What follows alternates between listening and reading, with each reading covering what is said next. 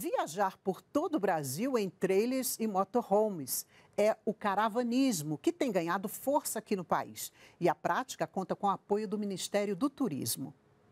Viajar sem rumo e sem pressa na própria casa. É mais ou menos assim a vida dos praticantes do caravanismo, que é o turismo feito com veículos de recreação, como trailers e motorhomes.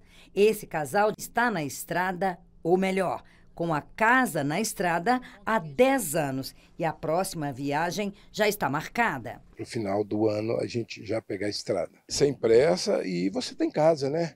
É, se tem alguém ali doido para passar, você deixa embora, você está na sua casa. Com uma malha rodoviária de mais de 120 mil quilômetros de extensão e incentivos do governo, o caravanismo tem ganhado força no Brasil. No Ministério do Turismo, estamos atentos a esta tendência e à necessidade de desenvolver e proporcionar mais infraestrutura para os viajantes que apreciam esta modalidade. Segundo o Ministério do Turismo, o número de acampamentos de brasileiros que buscam trazer o conforto de suas casas sobre quatro rodas cresceu 36% nos últimos seis meses, passando de 465 para 632 acampamentos até o final de junho deste ano. O Ministério do Turismo identificou a necessidade de diferenciar os espaços ao longo de rodovias voltadas para os turistas, daquelas construídas para os caminhoneiros. Além disso, foram selecionadas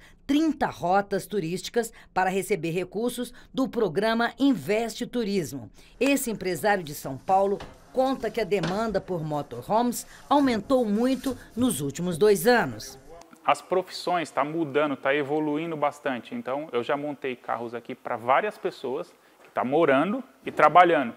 Então, hoje em dia, as pessoas conseguem trabalhar remotamente.